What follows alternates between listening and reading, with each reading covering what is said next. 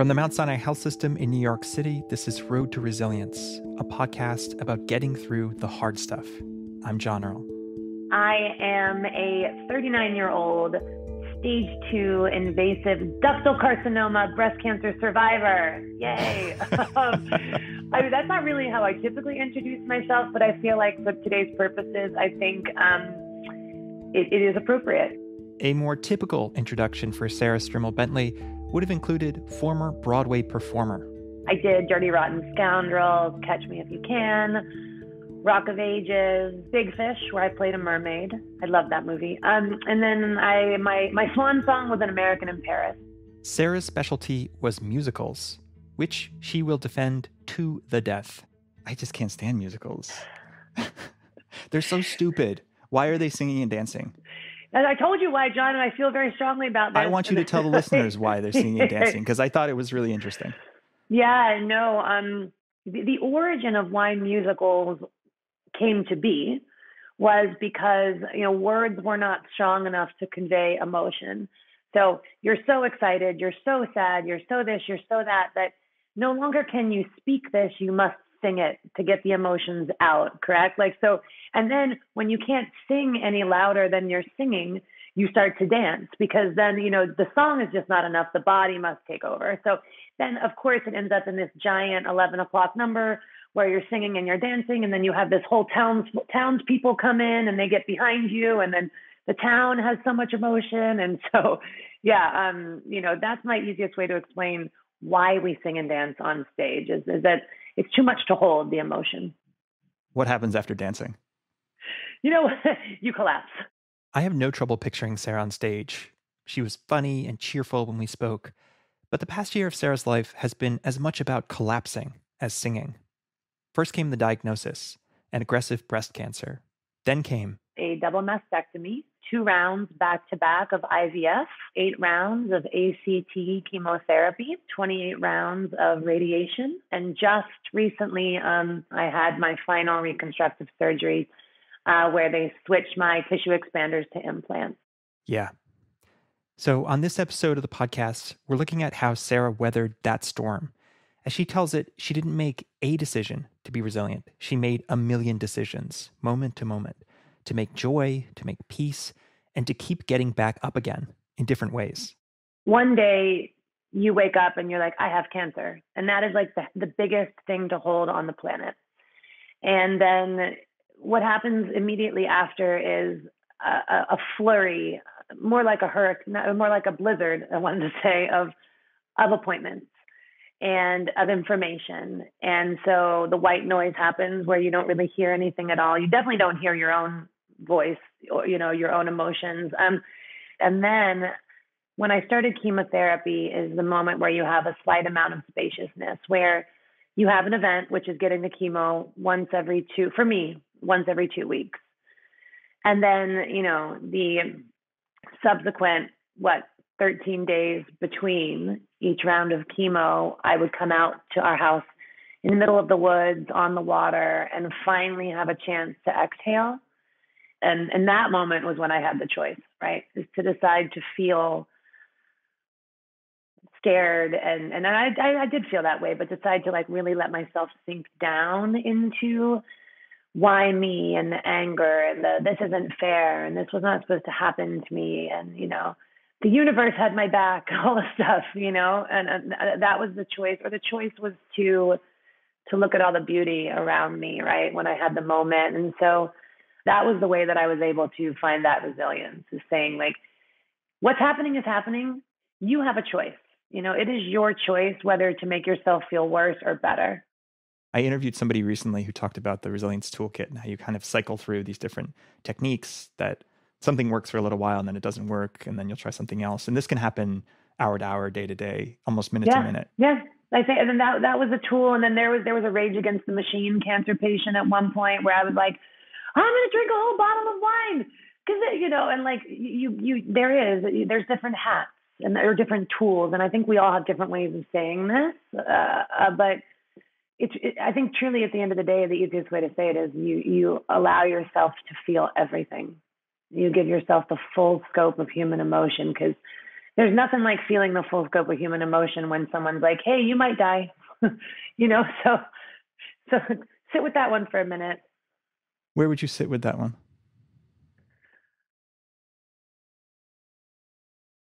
Oh, I don't know. That's a, that's a loaded question.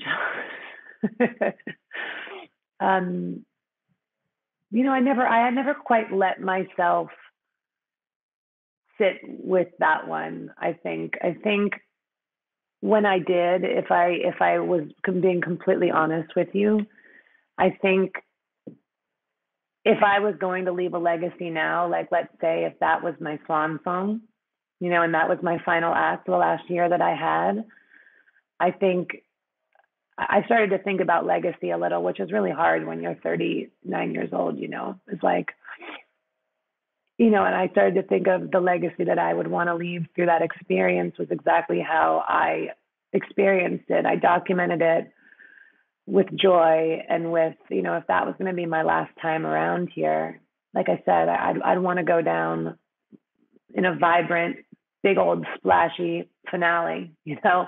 I wouldn't want to go down in the uh, in in the uh, the sad antagonist patter song if we're if we're doing musical analogies. You have photographs of yourself doing yoga on the roof, and there's the seaside, and that's almost where I imagined you kind of sitting with all of this. Mm. You know, I have um so in this house that I'm recording with you from right now. I'm sitting up in my yoga studio, which is like my little third floor sanctuary. But each day during treatment, when I was out here, this is like a healing house, it's like my sanctuary. And I found my lump uh, by itching my armpit on a path on the way to our beach. It's this magical path of like phragmites, which are these tall, big sea grasses and stunning birds and, and, and it opens up right onto the bay. And it's it just it's just like the water just you know encompasses you. When you get to the end of it so for me every day during treatment i would walk that same path where i found my lump. And and i would watch and feel myself change you know? I mean obviously the literal changes i would walk that path and i had hair and i had boobs and then i'd walk that path and i had temporary expanders and I was 10 pounds lighter. And then I would walk that path the next month and I was bald, um, you know, and puffy. And I would walk that path the next month. So that's where I would unpack everything, looking at the water. You know, I'm I'm a water person. I'm like a triple water sign. And so I would go down to my beach and I would I would sort of just take stock of how I was shifting, not just physically, but take stock of how I was shifting emotionally, uh, you know, and as a woman and you know, I, I, I look at that girl who found the lump on that path, and then towards the end of treatment, the woman that walked down it, you know, um, is a very different human than than the girl that walked down the path at the very beginning of this experience. What was the biggest difference between the girl and the woman? I think the woman now knows that she's not invincible. The woman now knows that like when you look at when you look at the other side and and, and you look you quite literally stare your death in the face it, it becomes this it becomes this like deep knowing and this deep rooted strength of of who you are like in the world. And i mean that in like such a calmer way. Um it's a much more rooted sense of self i have now knowing seeing that dark and going there and going into like the deepest parts of despair and also knowing like going there with the people around me going there with my partner you know like being in like you know love is amazing in all forms and all of the good highs and lows but you know when you're screaming at the top of your lungs through a whole night with your partner like you know rubbing your back and and going through that war with you. I mean it's it's just such a you get to know yourself you get to know the people around you you get to you just your your eyes are far more open because all the bullshit's cut out right? Like you're not you're not worried about the stupid stuff you know? It's really not until I, I think like through struggle and through i mean i went to war you know? I don't know anyone that's gone to war and come back the same person so i want to back up just a little bit to joy mining Ah, yes. Tell me about joy mining. Joy mining. It's it's you know it, it, all this is all going to sound like very um similar, like all these different things, and that's good. I want it to sound similar for you guys because it's it all comes from the same principle of of you know finding the joy amongst i'm going to say it again amongst the you know like finding those little moments of of amazing magic amongst the teardown right? Like so you know i felt like everything was being burnt to the ground in february. I was puffier than i've ever been. It was the hardest chemo rounds i'd had. I was like on this bone medication that made me feel like my whole body was on fire. I uh, have never felt like, I mean, they had expanded my temporary breasts to like proportions that felt Pamela Anderson esque, which was very not me. And I would literally felt like an alien. And, and, and, and it was dark and it was winter to that. So, so, and it felt like this thing was never going to end. And, you know, we have roller skates. My husband and I have roller skates that I bought us long before the cancer journey. Um, because his old apartment had a lot of space and we used to roller skate around it like a roller skating rink. So, you know, it was Valentine's Day and he's like, let's get the roller skates out and let's roller skate. And we cook, we have a cook off every Valentine's Day. So we did our Valentine's Day cook off in our roller skates, naked in our kitchen. And that's joy mining, right? Like, as horrible as I felt and as terrible as it was, is finding those moments of magic and and joy in your life like that can supersede all of that right letting yourself go there um and they're everywhere if you just open your eyes you know and and if you are able to to create that you know within yourself. So that's how that's how you find the joy in the midst of the teardown is is is is moments. Like we said micro moments. It doesn't have to be like a great big thing. You just simply be allowing yourself to sit with yourself and and like you know, find one great thing about your physical body when you feel like it's turned against you. You know, it doesn't have to be roller skating naked and cooking. You also had this beautiful practice of a sort of daily integration of your experiences and the changes that were happening to your body, to your mind. Yeah. Can you talk about that? Yeah. So, um, you know, as a yoga teacher and a yogi myself, and someone that's been doing it for 20 years or so, you know, the way that I could create also some sort of um, baseline was every day I would come up into this room that I'm sitting in right now, and and John can see, but you guys can't. There's like windows on all three sides and an easel, and it's I've got all my it's my yoga studio. And as my body was changing, which it was every single day, um, I would come up onto this mat that I'm actually sitting on, and uh, in my underwear, and I would do my yoga practice. And I was very specific about it being in my underwear because as my chest was changing, the shape of my body, every single part, my skin was dry. I would have, you know, whatever it was, um, facing it and getting close to it and then integrating each change and and having a moment of gratitude that I could even still move, right? That I was alive, I was breathing, I was moving on my mat um, and allowing that each day, each change to sort of have a moment of gratitude to say, like, yeah, but I'm here. You know, yeah, but I'm here was the tagline. Like, yeah. Or I would do this like every time I'd reach my arms up, which I can't right now. I almost just tried to and I forgot I had surgery two days ago. um, every time I'd reach my arms above my head in my yoga practice, which you do quite a bit, I would just have a little moment and I would look up and say, Holy, I'm alive.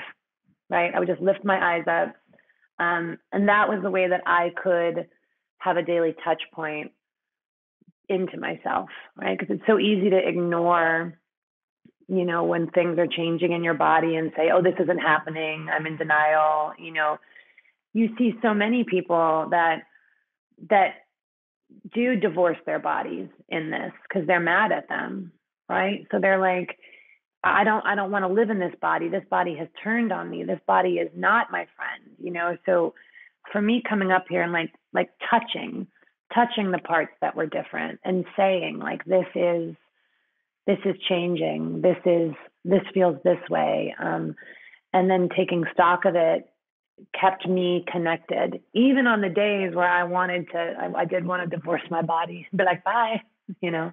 So there were days when you felt that anger? Yeah, of course. I mean, I, you know, I, I had someone ask me in an interview, and they're like, well, I don't get it. It just sounds like you just, you know, you just were happy all the time and you just chose that. And I was like, no, absolutely not. I think I did a bad job of explaining how I actually was resilient. No, I felt angry. I felt sad. You know, I would wake up in the middle of the night and I would wake James up and I would tap him on the shoulder and I would say, Hey, babe, am I going to die? And he would roll over. He'd wake up and he'd say, No, babe, you're not going to die. I'd say, Okay, babe. I'd roll back over and go to sleep, you know? Um, so I was scared and I was angry. I was angry that I got a gene and that I had a gene that mutated and that, you know, I lost the lottery. Like, you know, I think the way my husband describes it, he said, You rolled snake eyes. He said, You know, we've, we have guardian angels, and he and I, our whole lives have been so lucky. I mean, so lucky. So many amazing things have happened to us, and we've had, we've gotten out of some things we shouldn't have too. You know, so there's some not smart things we've done, but, but yeah, of course. I mean, you know, I felt anger, but then I didn't let myself be angry, right? So feeling and being are two different things. Like I, I, I if you don't feel all the feelings, then you're in denial. That's just it, you know.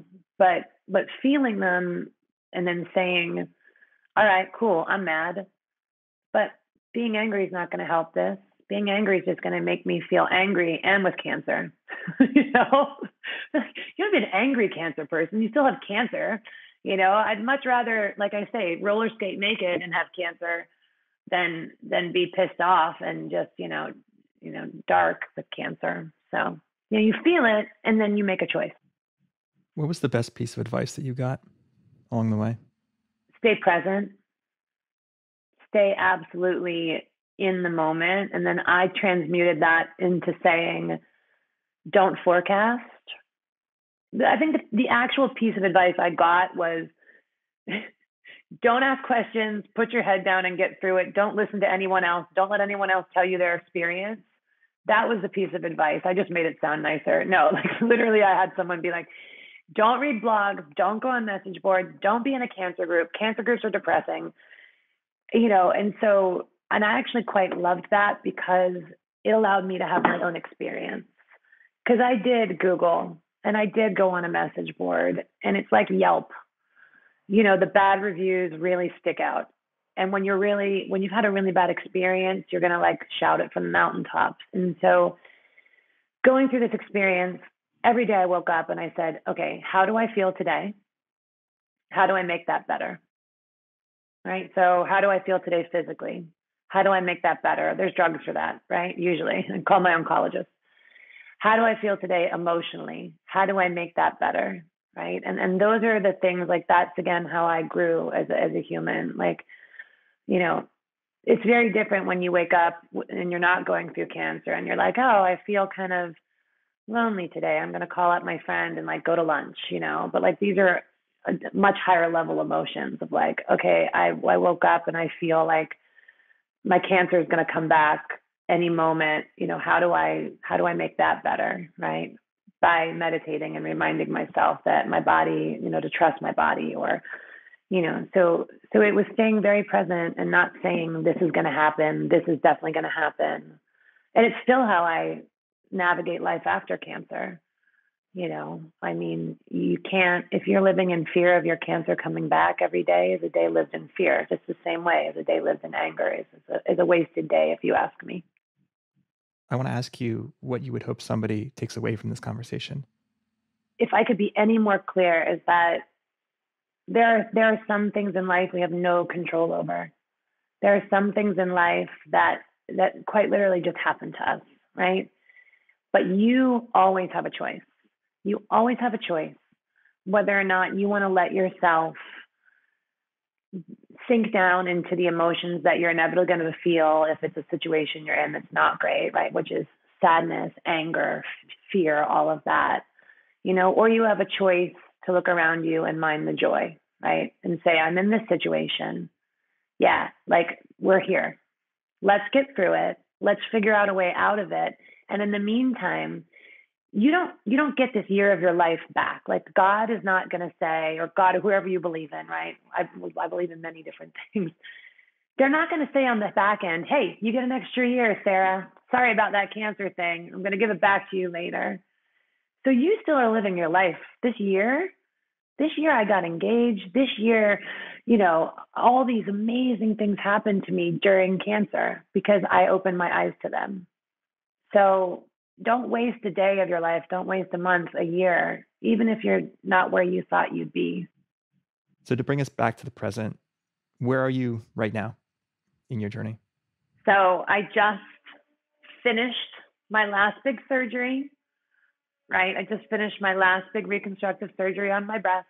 And it feels like I am now on the back end of, of survivorship, which is is uh, is living is living my life uh, and you know every day every day i take my little pills in the morning i'm reminded that yes i had some cancer and we're not going to let this cancer come back. And then every time i take those pills every time i remind myself of that i'm going to say i get to use this day to do some really magical stuff.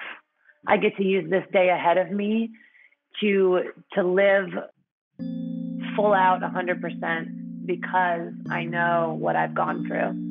Right. So every time I take that little pill, instead of reminding myself I had cancer, I'm going to remind myself of all the possibilities that lie ahead of me.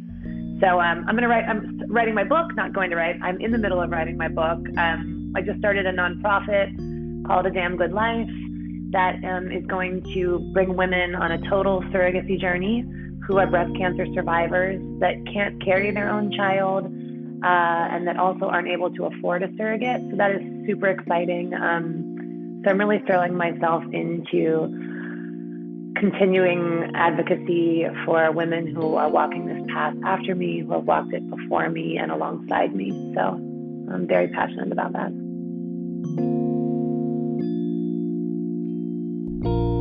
Sarrah Strimel Bentley is the creator and founder of Damn Good Yoga. To learn more about her work and advocacy, check out the links in the show notes. Road to Resilience is a production of the Mount Sinai Health System in New York City. It's made by me, John Earl, Nikki Cheatham, and Emma Stoneham. Our executive producer is Lucia Lee. From all of us here, as always, thank you for listening, and we'll see you next time.